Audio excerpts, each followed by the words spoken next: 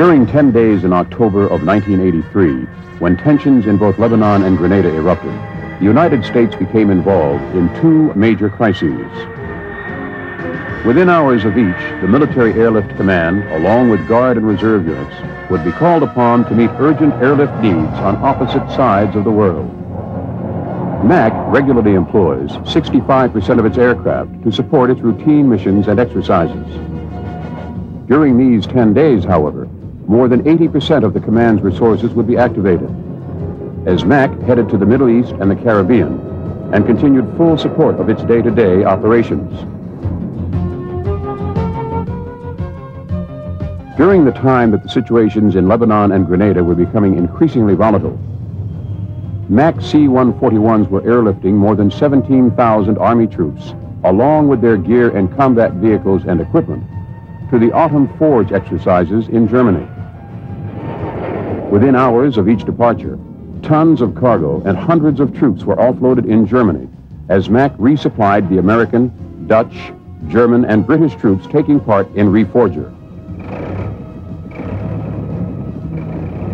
Meanwhile, on the island of Diego Garcia, a MAC C-5 Galaxy touched down on a routine resupply mission.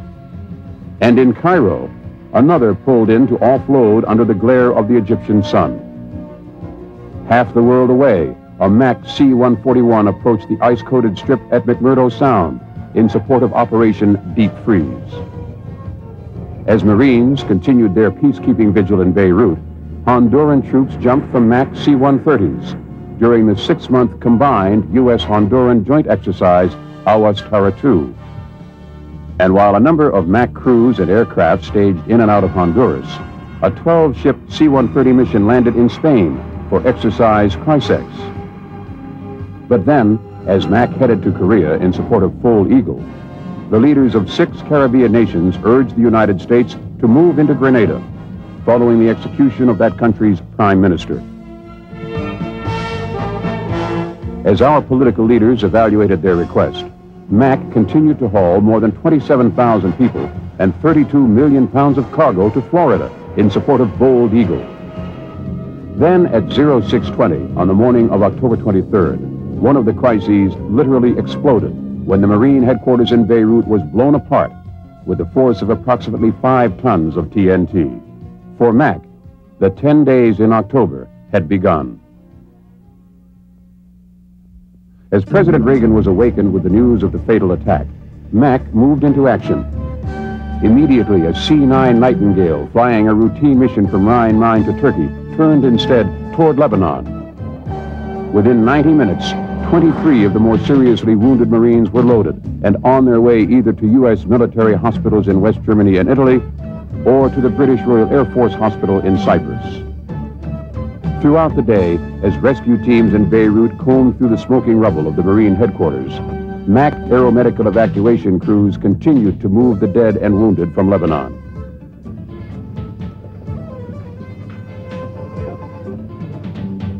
By nightfall, with 60 reported wounded and the death toll climbing to 147, the first of the Nightingales had arrived back in Germany.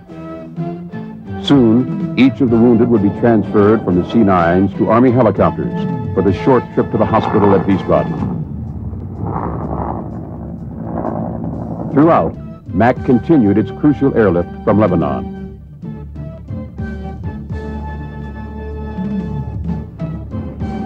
But during this day, MAC had also sustained its support of a number of ongoing worldwide missions and exercises. And so, as some MAC crews geared up for another day in the Middle East and Europe, others continued to train the Honduran military in airborne tactics. On day two, as the death toll in Beirut continued to rise, MAC C-141s and C-9s took off from Rhein-Main to pick up wounded Marines in Cyprus and Lebanon. Meanwhile, in Florida, the Bold Eagle exercises were still underway and still required full MAC involvement. Throughout these critical days, MAC AC-130 gunships could be seen over Eglin Air Force Base, providing the close air support and air-based defense for Bold Eagle. But as the command continued to support these exercises and fly normal supply missions from bases such as Travis, McGuire, and Norton, the U.S. government had come to its decision about the situation in the Caribbean. At 1800 on October 24, President Reagan signed the order for the rescue operation in Grenada, codenamed Urgent Fury. In a matter of hours, nearly every MAC wing in the United States, together with the Air National Guard and the Air Force Reserve, would become an integral part of the operation. It began in the early evening hours when U.S. Army Rangers at Hunter Army Airfield boarded MAC MC-130s and C-130s for the seven-hour flight to Grenada. At Pope Air Force Base, members of the 82nd Airborne boarded C-141s for the flight to Barbados, 115 miles from Grenada, and staging area for Urgent Fury. MAC had acquired the Special Operations Mission only seven months earlier. Now, in October, as the C-130s took off loaded with Army Rangers and supporting forces, MAC MC and AC-130s joined the tactical airlifters in the command's first fully integrated combat force. By 0500, as MAC was moving southward from Hunter and Pope, 400 Marines left the USS Guam off the coast of Grenada to launch a helicopter attack on Pearls Airport. Moments after the Marine assault to the east, MC-130s and C-130s out of Hunter were flying through a hail of ground fire from small arms and anti-aircraft and machine guns as they carried the Rangers toward Point Salines airstrip to the south. Then the jump light turned green, and the first Rangers were out, jumping over the barricaded, uncompleted 10,000-foot strip. At once, Cuban ground fire shifted to the Rangers as they steered their chutes toward the airfield. Immediately, MAC AC-130 Spectre gunships moved in to suppress the heavy defensive fire and silence the anti-aircraft guns. The Cubans drew closer to the airstrip, now skirting the Rangers' landing site in armored personnel carriers. Once again, the gunships moved in, surgically eliminating enemy defenses with minimal damage to non-combatant life and property. By 0750, only hours after the rescue operation had begun, the Marines encountered very little resistance and secured Pearls Airport. Soon at Point Salines, the Rangers had taken hundreds of Cubans into custody and had secured the island's only other airfield.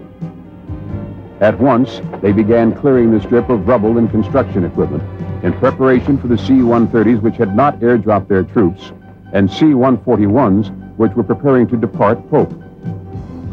By 0850, the Rangers moved in to secure the medical school campus and ready the students for evacuation. While the Rangers assured the safety of the students, MAC began to bridge the gap between Barbados and Grenada.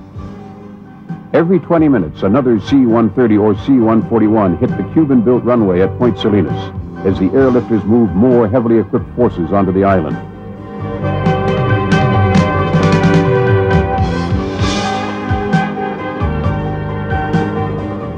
By noon, members of the 1st Aeromedical Evacuation Squadron out of Pope Air Force Base had arrived to assist an Army medical team set up alongside the runway. Immediately, these MAC medical personnel unloaded supplies and picked up both U.S. and Cuban casualties being cared for in mobile staging facilities. Within four hours, the first of the U.S. wounded would be back home in Charleston. During this critical day, MAC had continued the airlift of Marines from Beirut and supported supply missions and exercises. But as night fell in Grenada, U.S. troops had yet to take firm control in the Caribbean. Day four promised to demand the same high level of activity from MAC. Flying out of Rhein-Main Air Base in Germany, the command continued to demonstrate the rapid deployment of U.S. forces throughout Europe and the Middle East. Now, after the Beirut bombing, the transports assigned to Reforger began to crisscross the path of airlifters carrying Marine reinforcements back to Lebanon and those returning with the dead and wounded. As each of the 237 fatalities arrived at Rhein-Main, they were taken to a temporary mortuary set up and operated by MAC. Here, medical crews worked around the clock to complete positive identification of each individual and prepare their bodies for stateside transport. While Mac managed this mission, other crews moved 82nd Airborne troops and tons of equipment onto Grenada to reinforce the lightly equipped Rangers. As the 82nd continued to move from Polk to Grenada, the first group of American medical students geared up to move out. Oh, one hell of a lot of thanks to these guys who went in and got you out.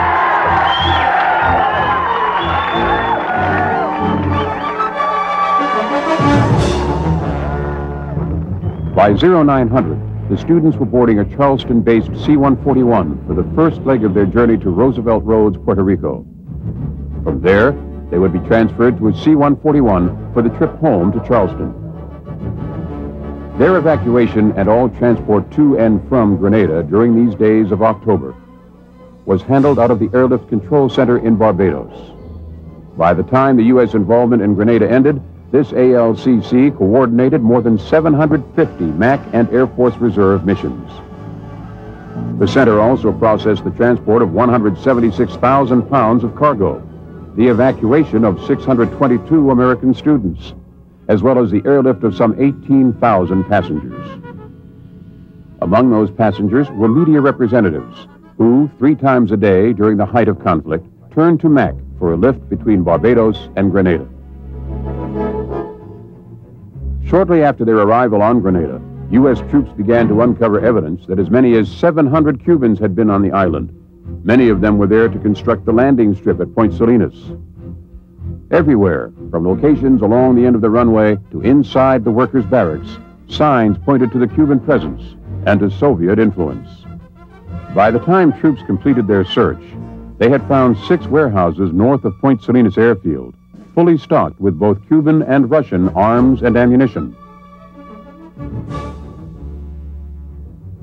Then, with about 700 of these Cubans in the custody of U.S. and multinational peacekeeping forces, Mac made the arrangements to shuttle both them and the captured arms and ammunition off the island. With the command still entrenched in the Caribbean and in Lebanon, Mac crews in Christchurch, New Zealand, packed fresh food and supplies for airlift to American scientific laboratories in the South Pole. So, while some MAC crews continued to gear up for the evacuation of Cuban detainees, and others carried wounded Marines home through Andrews, these Operation Deep Freeze crews would load their cargo and head out into the Antarctic night.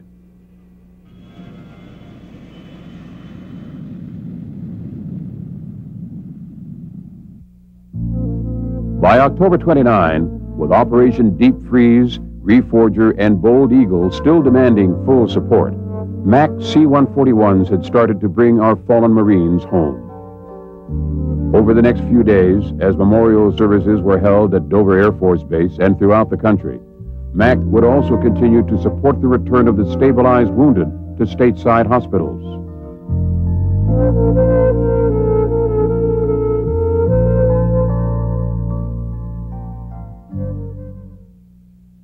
By the eighth day, the United States had achieved all its military objectives in Grenada, and life on the island resumed its normal pace.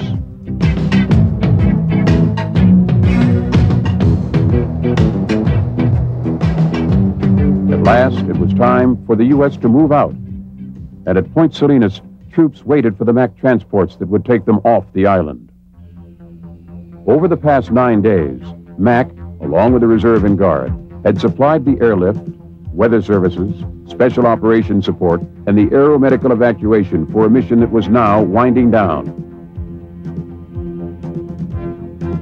Now, as MAC brought the multinational peacekeeping forces onto the island, the transports continued to take the still remaining U.S. troops out.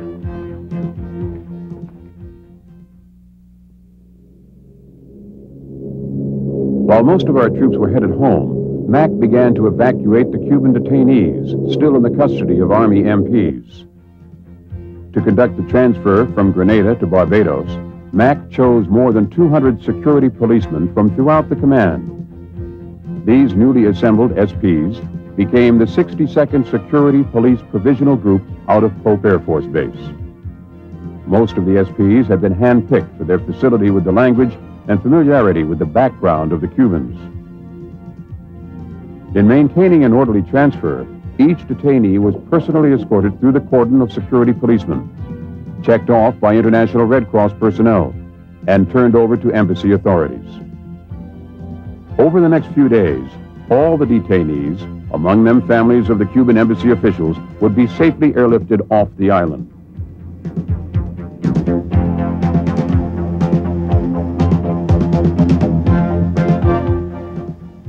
In October 1983, in the midst of routine missions and worldwide exercises, the Military Airlift Command managed the airlift for two crises on opposite sides of the world. Rarely had the unique capabilities and readiness posture of both the active and reserve forces been more clearly demonstrated. In just 10 days, more than 94,000 active duty personnel and more than 41,000 reservists flying over a thousand aircraft had once again proven themselves to be the backbone of deterrence.